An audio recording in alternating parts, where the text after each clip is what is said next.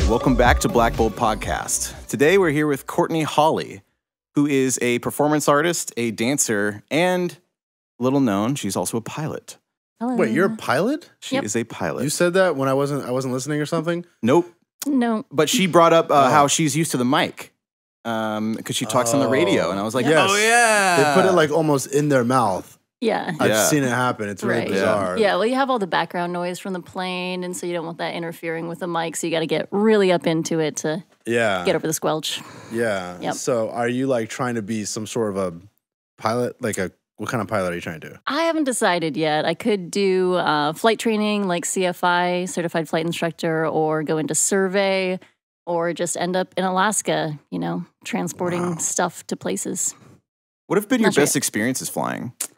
Um, easily just like the random trips doing going out to places with friends. So like last summer I went out to Summer Lake with my neighbor, flew into a tiny little strip, hiked 4 miles, sat in some hot springs all night and then flew out in the morning. Wow. That's a fun little fact about you. Yep. So let's go into a little bit about your background with dancing, performance art, and kind of how you got to where you are right now. Yeah, well, I started out doing drill team uh, back in southern Utah, and uh, then transitioned up to here to Portland, uh, where I went to Arts and Communications Magnet Academy. Mm-hmm. was there for two years and kind of got introduced to the more classic dance styles ballet jazz modern um yep and then after that went on a totally different route i decided to travel for a bit then i went and got an engineering degree and during that time i taught myself to hula hoop which is how i got on with MarchFourth um, and through them learned more hula hooping stilt walking and uh, aerial arts and that kind of thing And can you tell us what MarchFourth is, real quick? MarchFourth is uh has many many different people involved in the project throughout the years. They're they're 15 years old. It's a marching band that uh, focuses on um, jazz, funk, rock, just all kinds of fun. It's a huge spectacle. They've got 13 people on stage plus four dancers, people doing insane tricks on stilts and different acrobatics, hand balancing, and it's just kind of a raucous party wherever they go. Yeah, Ben sent me one of the videos, and I believe that's MarchFourth because there was a guy on stilts, and then you hopped on. You guys were like twirling each other around, and I was like, oh my God, this is, obviously is dangerous. Yeah, but, yeah. but like, where does one even really start in planning some of those choreographed moves? Because you're all over the place. Yeah, well, they've been doing so. the The routine that you guys saw was the pole routine. So it's a guy on stilts, three foot stilts. So he's standing about nine feet tall, and he's got um, probably a nine foot pole, like a big metal pole, and we're doing a pole dance routine on that pole, including um, other acrobatics like splits or flips over the top of them and that sort of thing. And so it's basically just all R and D, uh, research and development in our little studios. We get all the equipment on, we Mhm. jump up there and just kind of see what works. And if it doesn't work, there's mats to land on. Right. I was just about to ask about that. Like, how, when you fall, like, how do you test out new moves? Do you have like a foam pit? I mean, what do you do with that? If it's new enough, we'll put it in one of the gymnastics studios around Mhm. here. But otherwise, we just kind of trust the bases. They've been doing it for so long and they're really sturdy and capable and nobody's doing anything too crazy at least from like our perspective. It looks insane like from like the civilian, you know, somebody that's never done that kind of thing. But for us it's all pretty standard. What would you say is the toughest thing to overcome when you're first trying out these tricks? Is it like strength or like the mental capacity to just hurl yourself out there? What, what's the toughest part? Uh, it's to know what kind of forces you're putting on your base. So the base is the person who's lifting the flyer, and to understand if I kick in a certain way or if I drop in a certain way, I'm shifting his weight around, and he's only standing on pegs. He can't stand still. He must keep walking. So for you to like jolt him in a certain way is really like will throw the whole trick off. So Hmm. that's the hardest thing is like realizing that it's not just you chucking yourself around, you're also pushing somebody else around as well. Well, And you're relying on them. So yes. that's got to be gotta your be a life. little scary. Yes. Yeah. right? Which part, which position do you think is, is scarier? oh, easily the flyer. Okay, yeah. Yeah, Which do you think is yeah. harder? Um it's it's hard in different ways. Like the flyer needs to stay really tight and it's really difficult to try to not save yourself because a lot of it can be like if you go into a freak out moment, you're going to like collapse and like try to grab onto your base. But the best thing to do is just to keep your shape, be rigid and predictable, is what they tell us, so that when something's going wrong, the base can grab a predictable shape rather than somebody that's like cat flailing out there. So don't try to land on your own. To have high, have hope in your what do you call it the The base. the base Yep. to actually protect you in a way. Yep. That's crazy. yeah. Wow. So you're strong as hell. Like, how important is that? Because I, I don't want to call people out, which I'm not going to, but I've seen like a lot of times you perform with other people and you're the only stable one up there. And I'm wondering, is that strength? Is that like what quality is that? Um yeah, there's some definite strength there like just to like do certain moves where you're doing like a pull up onto somebody. You need to be able to do a pull up on your own. So that definitely helps. Um otherwise you're just managing your momentum and staying staying really tight. So you can be you don't have to be that strong because the bases are really strong Mm, one of you has to do it. But if you're not that strong, you need to be able to manage your momentum and also just keep it in, like, not have those wobbles. And, like, even if you're not strong, like your legs or your arms, your core has to be really strong and put together. What kind of exercises do you do on your own time to make sure that that is something that you have down? Mm, I'll condition a couple days a week, just like sit ups, push ups, regular stuff. Um, and then I go to gymnastics a couple times a week, and I'm a rock climber. So the rock climbing really helps with like core stabilization and then just all the arm and everything. Core stabilization is huge. I mean, we can go into a long rant about physical health and training. I know. I li- I was happy to in- yeah. invite her on here because you guys are like two of the strongest people I know. Are we Two the most in shape. So I was like, I was like, yeah, they'll, they'll they'll connect on that. I, I have a question that's not health related though. Um, in your journey, because you were an engineer, like you got an engineering degree, at what point did you realize that's not for me? Because that seems like a pretty promising future, at least monetarily. Right. Why did you turn away from that? I right out of school, I didn't really have anything lined up actually. I Yeah. wasn't sure exactly what I wanted to do with my degree, which is something you ought to do as an undergraduate is having those internships nailed down and you're moving right into the workforce, but I didn't have that. So I was throwing out resumes all over the place and um, started my pilot's license and about 2 weeks later got hired with an aerial surveying firm. And so I was on with them for 2 years and that was amazing. So I kind of, you know, used like some things that I learned in school through that, but basically, uh, it was just the job that I got. It was just Yeah. kind of what landed in my lap, and so I did that for two years, and uh, the schedule was kind of difficult. You know, it's two weeks on, two weeks off, but two weeks is like full on in the fields. You're living out of Mhm. hotel rooms, and the lifestyle gets uh, exhausting. So did that for two years, and then joined the circus. Yeah, you call it the circus. Yeah. How does one, as a as a performance artist, go about promoting themselves for opportunities like this? Ooh, um, it's usually just word of mouth in Portland. Yeah, You don't have to do a whole lot of like, here I am, this is what I do. It's more like, oh, this person has a space, has space open for this type of act. Who do we know that can do it? So there's not a whole lot of like broadcasting yourself out there. You more just hear about gigs or they hear about you and contact you. It's it's much more close circle. But how do they? How do you get to that point? Because we always promote a lot of you know content generation or like boost your social, um, and of course networking just in general. But yeah. it seems like that industry is it's all over the place, but you don't always see the people like walking on the streets. Like, you can't point them out. So like, how do you meet them? How do we meet? Yeah, like Other how do you how do you network? or- Yeah, like within circus circles, circus circles, Circus circles.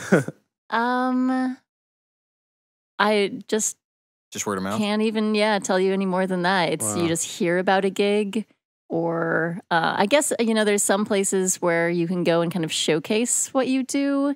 There's like event, um, there's like an event conven- convention, and you can go there and like be Oh, like, this is what we do. So you can have like partner acrobatics showcased at your event. And you'd be like, oh, great, we'll pay you $500 an hour. And you guys can come here and throw a few tricks and wow our guests and then go home. Oh. So you don't just run up to people on the street and say, "Hey, look at me," and do Yeah, like backflips. doing- well, but I bet that like quite. sometimes you know, like on, you go to first Thursday or something or last Yeah. Thursday, and they mm. have some people who are doing some not as dangerous acrobatic stuff, but they're twirling each other around and doing flips, and that could be a start just as a street performer. Yeah. Yeah, we've talked about it a little bit, trying to get what we call like corporate gigs. So those are the ones where they have, um, they already have the event set up.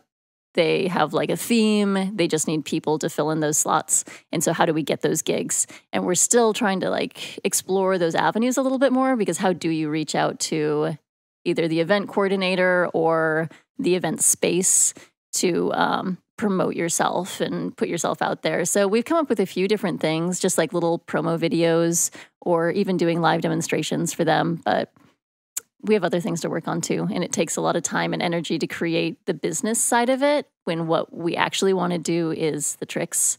You know, Yeah. you can spend so many hours like sitting in front of your computer and sending emails about what you do, but really you just want to do the backflips. I feel like there's a huge opportunity for actual doing videos, like you just said, and a lot of them they could go viral in a way if they're done right, Yeah. and that could be just a mass exposure outlet, just like an opportunity right there in itself. Right. Yeah. Yeah, Yeah, because you guys do so much cool stuff, and it's all visual. And even though, like, obviously, if you're there in person, it's ten times better, right? Right. But and there's not a lot of arts like that. It's like that and like plays and a couple of other performance. Like, but I get- performance art in general is usually a little bit more of a. It's going to have a much bigger impact in person than on video, as opposed to most of the stuff we usually talk about and deal with, which is all done on the computer or it's film or whatever. yeah. But Uh, I mean, let's think about like what if because you and I we always come up with these ideas out of nowhere, and they're funny ideas. And then imagine if you collaborated with someone like her and had this silly script. And then as person come in as a costume as some sort of like a character, then suddenly these like animations we used to make could in a way come to life. yeah, Mm. if we had professionals doing professional stuff, yeah, Yeah, that'd be super yeah. cool. Yeah, for sure. Just an idea. Yeah, no, I I think yeah, crossing stuff's cool. Uh, but my point is just that um, it, it can be tough to promote stuff that is better in person.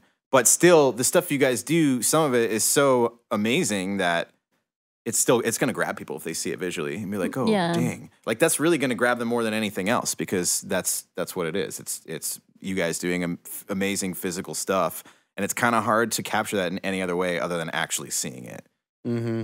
Mhm. Yeah. and being like, oh, damn, I want to go watch that. So, is, would you say like your end goal is to be like straight up Cirque du Soleil stuff, or what is your end goal with it? No, it's more, it's all just for fun, honestly, for me. People like try to create, you know, like they want to get really big and famous and, you know, take this Mhm. everywhere. So it'd be fun to travel with it. It'd be fun to um, just, you know, baseline, like be able to do that as my main source of income would be awesome.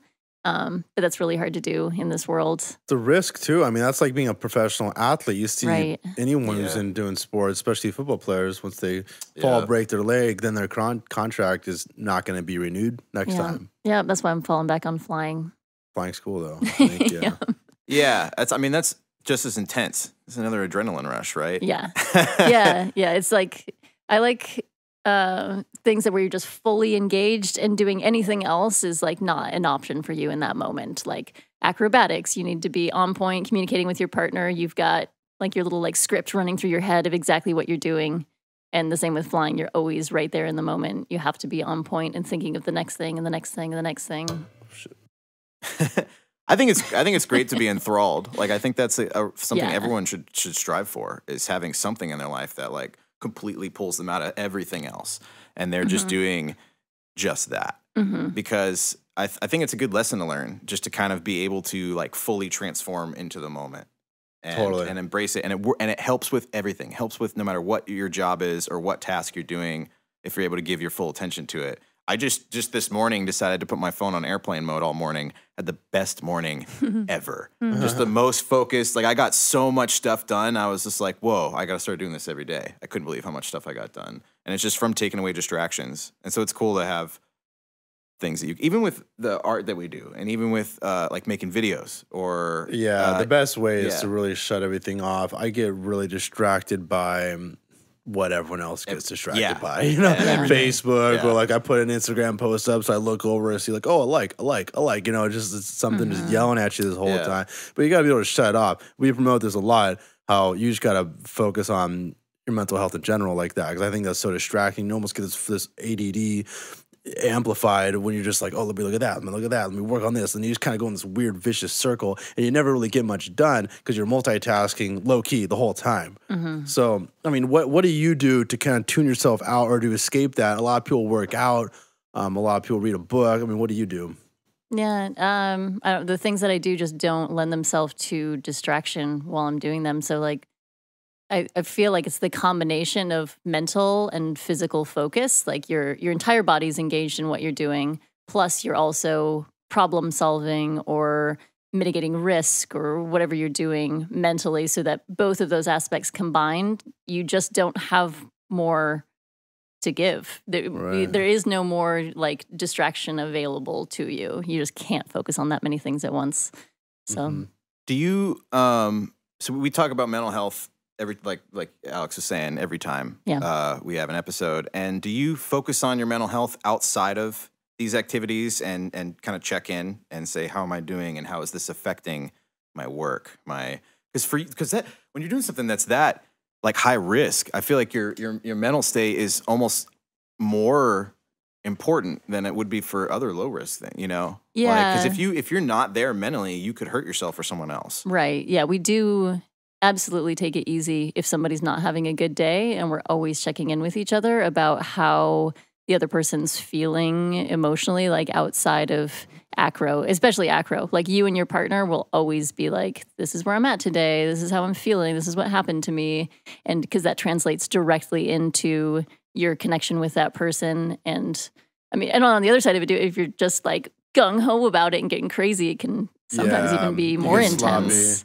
Yeah, Mhm. you need to have that like very pinpoint of connection with the other person that that is unwavering to really throw hard tricks. I think it's like just losing focus in any way. You lose focus when you get too excited. You lose focus when you get fatigued. Yeah. And like you said, that's a huge like a liability issue.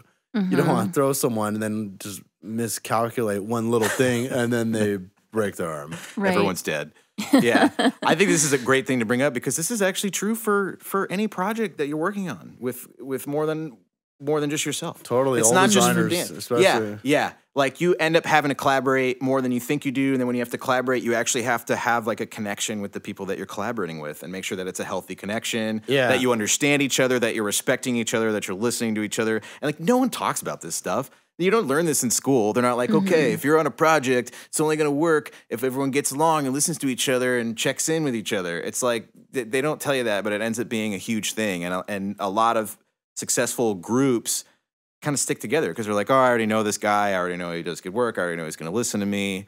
And it, the dance thing's cool because that w- with that, that's so prominent. Um, but it's I think it's less obvious in, in other mediums. Let's play the other side on that too. When you grow up and you do a lot of group projects per se, maybe they're teaching you to not work with people who you effing hate. You know Yes. what I mean? Yeah. it's like, oh god, that was a disaster. I Yeah. hated all those people, and they just made me do everything. yeah. You know, you're like, I gotta work with people who I trust, Yeah. and that was miserable, and I don't want life to feel like this anymore. yeah, yes, yeah. I, I think that's a learning experience for everyone. I, that's the one thing about riskier careers is you're forced to accept that more. Whereas if you take a safer career where you got a like a cushy job and you have like a cubicle and stuff, and like, well, all I have to do is show up, and it's like, well, but you have to report to someone, and there's people working next to you, and if they're all the worst. And you're just miserable every day, but you're like, well, I worked really hard to get in this really specialized job that I have now, and I don't, and it's gonna be a pain in the ass to go to another company and stuff like that that'll slowly creep up on you and then kind of wear you down. Yes. Whereas when you're working in something more high risk, like art or dance, any of that stuff, you actually have to, you're constantly checking in about that because you're like, look, I'm already taking a huge risk. This doesn't seem to be working out. I, you kind of immediately can tell that the long term's not going to be good. And you're Mhm. like, especially if you're you're paying attention to it and not just being like too happy go lucky or go gung ho about it, you know? Mhm, Have you ever gotten really excited about an idea and like sent it off and then look at it a few hours later and like, oh my god, why did I send that? Oh, a like, billion that- times. A like, that's- billion that's, times. not good. A million times. We've both done that. Yeah, yeah. for sure. Um, how much? How much of the choreography do you actually come up with yourself? Um, quite a bit. So I'm in a couple different groups. Um, there's a company called Tempos Contemporary Circus, and for that one, each group or like duet or um, uh, individual comes up with pretty much all their own choreography, a little bit of input from our director.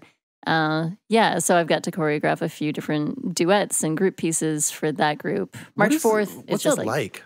I'm sorry to interrupt. Wait, Yeah, what is no. it? Where do you start with that? choreography. Yeah. Choreography's weird. It seems weird. Like it's, It's just like- so like out of my circle. I I, just want to know about I'm it. I'm just getting used to it. Like I've I've been a dancer for so long, but I've always just had pieces set on me. Like somebody else has the idea and the type of motion and um, the emotion that's going with it, and you just do that and try to like bring that to life. Um, but then to come up with it is so arbitrary. You're like, okay, we're gonna like put our arm this way, and then we're gonna slice it across, and then we're gonna like, and you're just you're just standing in a room with another person, and then you're like, okay, let's do that 20 times or whatever it is. It just, it feels stupid and ridiculous. And then you put it on stage and it seems like, oh, of course, that's what we were supposed to do. And it's like, it's a dance and it all comes together. But in the moment of like, you need to move parts of your body in a way to counts and then remember those things Yeah. is really awkward and just it's it's funny and it's fun to see other people that are people that are good at choreography just move like you know they're they're drawing on such a huge history of of training that they just have these like little things that they get to do and they just stick them all together in ways that they find entertaining This seems almost like somebody who, like, I'm gonna. This is gonna sound like completely out of left field. Rap battles. Yeah, some Yeah. people are good at it. Some Totally. people are not. But some people just kind of have moves in their head that they spit out, and Mm. they kind of make it seem like they know what they're doing, but Mhm. really they just kind of pulled that from something else. That's Yeah. a good. That's a good analogy. Mhm. that's that's what just pops up in my head when I hear that. I Yeah. don't know. But like, how do you identify if it's wrong? Like you're you're doing it and you're in the moment and you're still kind of conceptualizing these moves, and but you haven't had someone tell you what's wrong. How do you know it's hmm. wrong? I don't know that it would be. Yeah, no, it can be wrong because it's just like they won't flow together. It's like painting. It's like using acrylic and then chalk and then you know like it's using different mediums together. But in dance, like it'll be different feelings or like ways of movement that just something will feel disjointed or it'll stop in one place and you can see that the phrase kind of ended and they're like oh tacking on things to the end. So it's mostly the outside eye or things that feel awkward in your own body that you just Physically, you'll feel Yeah, it. yeah. It won't be right. right. Isn't a lot of choreography like? Isn't a lot of it taking from other choreography? Just like kind of every other art, Right. you know. Like you I see think stuff and that's what gives you ideas because it is it's so arbitrary. You got to start somewhere. I guess you could kind of feel it out, but like how? And I actually don't know this. How often are choreographers dancers? Like always, or I would say always. okay, Just because they need to know what you're doing, yeah, what they're working with. I mean, it's like how often are composers musicians? Right. Well, some some of them some of them don't. It's but it's rare. But some of them like like Eric Whitacre's not really a musician. He's like the most famous Mm. contemporary composer right now. I, I he was a musician, but like not like that. Like he went to Juilliard and was like, "Wow, I, I can't, I can't, I can't do anything you guys are doing." So he just wrote, you know. So there there there's a huge disconnect for that. But that's again that's a little different because you're kind of like, well, I'm right. You you already know the rules. People, Right. you know the rules. People say Yeah. this is what people can do. This is what the experts can do. This is what the beginners can do. Yeah, Go for it. Right. Yeah. Write something to fit that. So, yeah. but and yeah, knowing what style you're working in too is really important just for your own framework and like your own inspiration if you know like i'm choreographing either like a storyline or if it's in a specific style of dance or the like the music is giving you the inspiration for the style of movement that's that's pretty much where you draw it from i'd say we went, went into music for a second, and I Yeah. thought about you know you always hear on the news, oh Bruno Mars stole someone's music again. Does that ever happen in performance art? Or- stealing movement Yeah, like can you claim that? I don't think so. In in acrobatics, yes, people will like claim movement like if they are working a trick that they don't think anybody else has done, they'll like even in our group, we won't post things online Right. until we have done them in our own performance. Oh. That explains a lot the lack of videos. Yeah. Because it's like you guys are doing this so often and it's so visually appealing. Like, why are there more aren't there more people pulling their phone out and being like, sweet, you know, and posting it? yeah. Interesting. Yeah, we do post like a few things, but uh usually only after we've done the performance and we keep all our like big tricks on lock. Right. Um, people are doing bigger stuff everywhere else in the world. It's just within our own little circles that they want like ownership of the choreography that they've created. yeah, because it's so easy to steal them and no one's gonna Yeah. do anything. Right. We don't think about that for a ton of performance things because the comedy world's actually s- the same from what I hear. Like comedians all do these jokes and it's like they're performing them every night, but you cannot take someone else's joke Right. and perform your, you know, that's just like a, a huge no no. Yeah. You know, Carlos Mencia is gone now because Yeah. because Joe Rogan called him out. It was, or like a couple of the people Mhm. were just like, "What are you doing, man?" Like Mhm. so so that's interesting because I never thought of it like I never thought of it like that really for comedy, first of all, but I never thought of it like that for dance either. But uh, yeah, probably if you know, do you guys have like a business manager or just like do you have like someone who is in charge of the business, or is it just like everyone's kind of trying to help and and it's only getting so far? Uh, MarchFourth does, of course. Like we Mm, have right, yeah. tour managers and people doing the booking and all of that. Well, some people make a living off that, right? Yeah. Okay. And and and you worked with them. So you've never been with them full. You were with them full time sometimes, right? You tour around the country with them, right? Is that right? I have been on tour with MarchFourth before, and Okay. I just do like random one off gigs with them every once in a while. Like, was down in Tahoe with them, Southern California, Arizona. Uh, but yeah, I've been like across the country to Florida with them before. Yeah. All in the big tour bus. Yeah, I come, Yeah. I'm really curious about the business structure. Mm-hmm. Yeah. What do you So- think? Mm. Yeah, like so kind of run us through like yeah, there's a manager, is there a social person? Is there like these all these little production assistants? I mean, how does this really work?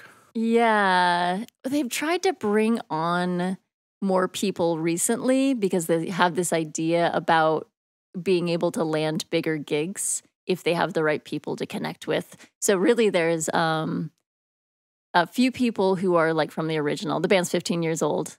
Um and there's four or five people still connected to the band really intensely that are now like the artistic director, um, the tour manager, social media, like outreach, someone doing all the finances and making sure everybody gets paid, and that is all going on.